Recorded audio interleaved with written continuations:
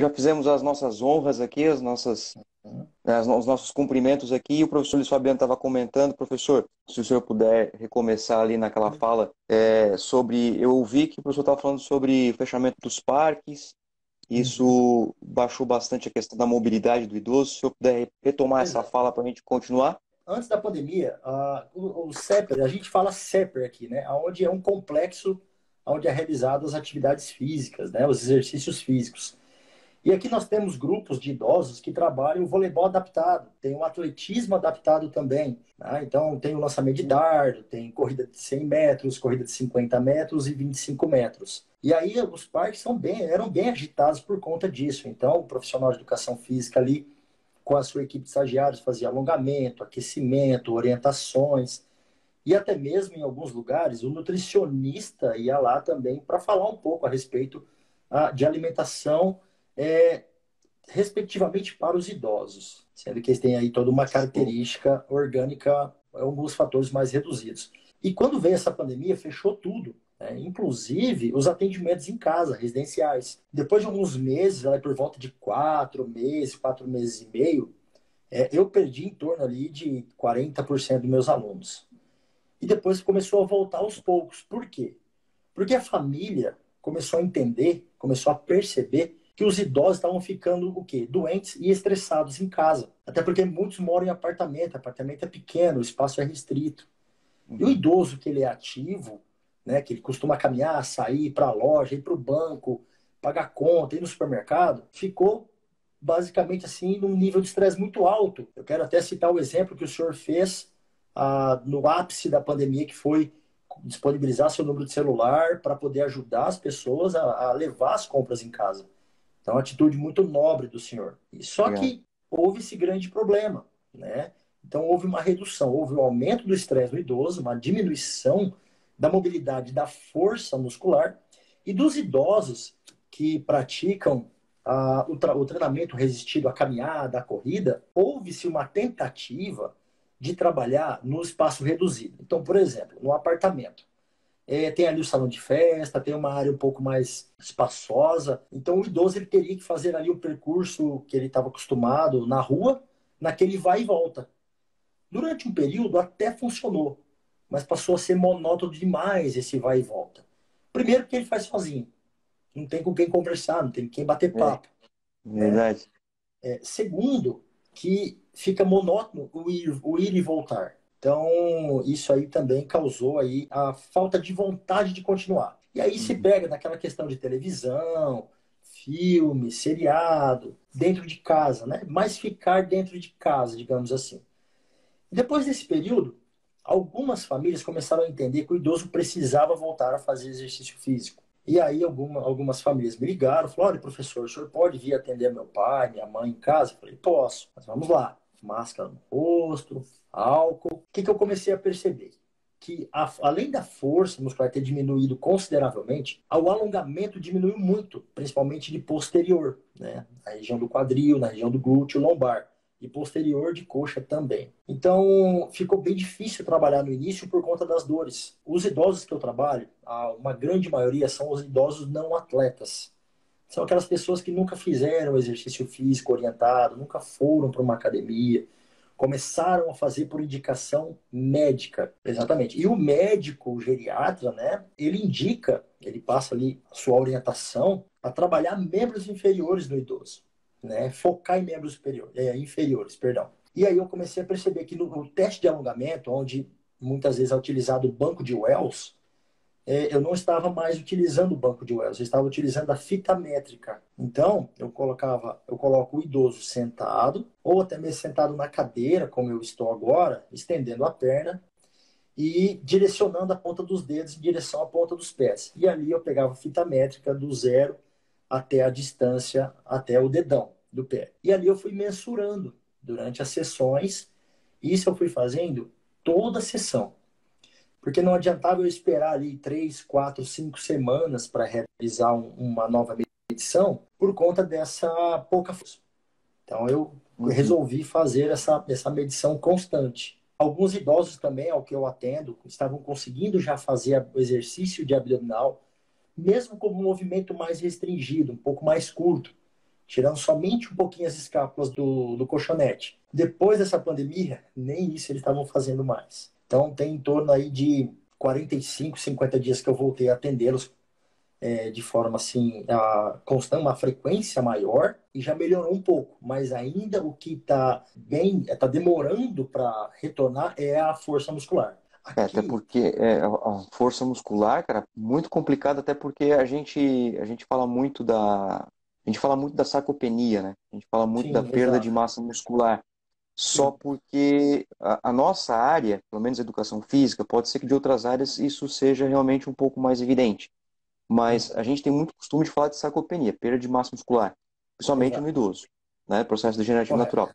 Mas, mas pouco se fala sobre dinapenia, que é a perda da força muscular. Da força muscular, exatamente. Justamente, justamente porque o processo de hipertrofia, que também a gente acha que, nossa, hipertrofia é só para indivíduo atleta e maromba, não tem nada a ver. Hipertrofia é o aumento da secção transversa do músculo, é o aumento de massa muscular em fim de papo. Então o que acontece? A gente tem essa perda que ela é de massa muscular no idoso, mas antes tem a uhum. dinapenia, que é a perda da Exatamente. força muscular. E ela interfere em todos os processos neurais que envolvem isso, né?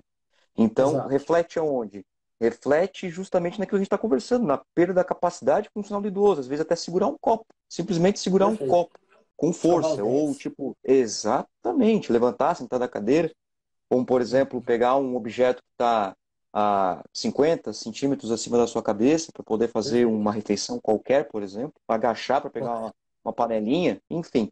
Isso tudo vem em consequência da dinapnia da perda da força, primeiramente. É que a gente fala da perda da massa muscular porque é uma coisa mais evidente, né? A massa muscular Sim. a gente consegue mensurar e visualizar um pouco mais, assim, do que a força. Exato. Esse é o problema, né? Mas o que você falou, professor, é muito interessante, até porque não só da força, mas da flexibilidade, né? Foi o que você falou ali, que os idosos praticam vôlei adaptado, praticam 25 uhum. metros de atletismo, e aí tem atendimento nutricional. Isso é um projeto da, da prefeitura aí? Não, ou o não? vôlei adaptado, o vôlei, o vôlei adaptado, sim. Né? O vôlei adaptado, sim. Uhum. O, o atletismo e o exercício ao ar livre é projeto particular. Projeto ah, particular. entendi. Tá. Mas é um projeto, é um projeto.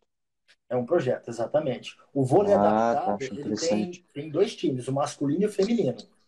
Participa de competições ah, aqui na região, tudo bem organizado. Ah, então é, aí, aí, participa das competições, é tipo, como aqui tem os Jogos Abertos da Terceira Idade, o JAST, os Jogos Abertos Ex da Terceira Idade, exato, específico exato, da Terceira Idade. Exato. Aí ah, tem os Jogos Abertos. Aqui tem os jogos é, que falam assim, é, interativos para interagir as equipes de voleibol adaptado. É, eu achei muito interessante quando tu falou ali, eu quero, quero, até te perguntar, porque eu não costumo fazer isso, eu achei bem legal, até notei aqui. Tu faz aquela avaliação, na verdade é uma avaliação angular da flexibilidade, aquela avaliação que você senta o idoso, você uhum. estende a perna e você vai, né, com a mão Exato. em direção ao pé. Inclusive a gente sugere, não sei se tu faz isso, mas a gente sugere que não haja dorsiflexão. E o Sim. idoso não traga o pé para trás justamente para para não dar aquele miguezinho, né? Para não ganhar aquela vantagem ali no naqueles centímetros ali de flexibilidade. Eu achei interessante que você falou que você fazia sessão a sessão. Por que, já havia alguma isso? diferença já? Pouco, mas houve. Pouco, mais houve. Agora, a diferença que eu, que eu obtive, a, visualizando ali o trabalho com, com o idoso, é, não foi uma melhora considerável na diminuição da distância desse, desse alongamento né, entre a ponta dos dedos da mão e a dos pés mas sim na redução sensível das dores na região posterior lombar. Aí eu vou explicar, o, ah. aí eu vou explicar o porquê que isso aconteceu.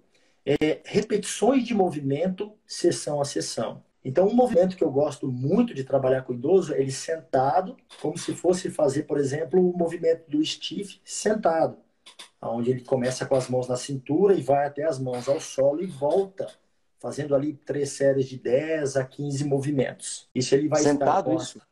Sentado, sentado no sofá. Ou numa cadeira, que seja. Cara, se eu quiser, eu demonstro. Se eu quiser, eu demonstro aqui. Basicamente, o movimento tá, é onde o idoso se sinta o mais confortável possível. Ele vai estar com essa parte, com as mãos para baixo, e ele vai fazer esse movimento de vai e volta, com os joelhos flexionados, né?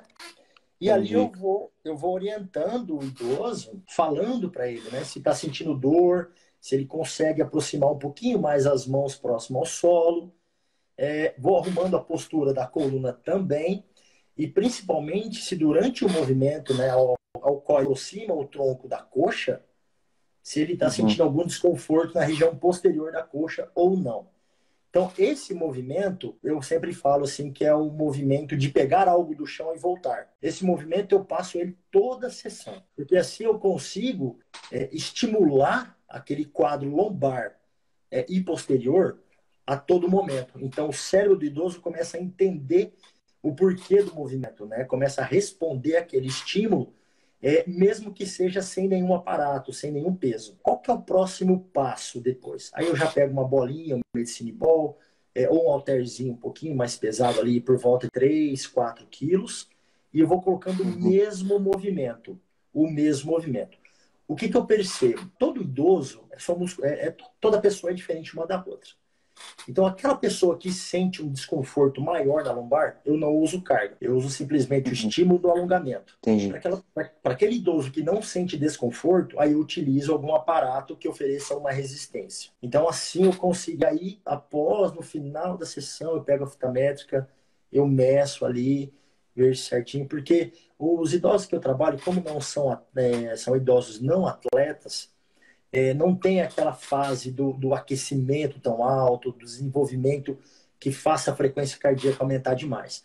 Muito pelo contrário. Então, parêntese, ah, todo caso, né, todo, todo idoso que eu trabalho, eu procuro sempre conversar com o fisioterapeuta também. Dúvidas ao que eu tenho, questionamentos, eu sempre procuro conversar, bater papo, olhar a rede social, que os fisioterapeutas aqui da cidade bem direcionados, são todos muito competentes. Então, através da leitura da, de artigos, através de livros, e essa conversa interprofissional, ela faz toda a diferença. Trabalhar interdisciplinarmente é o futuro da área da saúde, meu amigo. E quem começou Eu... a fazer isso cedo, que nem a gente começou a fazer isso já bem antes, já. Uhum. Cara, quantos anos eu falo isso na graduação? Desde 2014, 15 que eu falo isso. Uhum. Trabalhe interdisciplinarmente. Trabalhem juntamente com os outros colegas, porque vocês vão precisar deles, assim como eles vão precisar da gente também, né?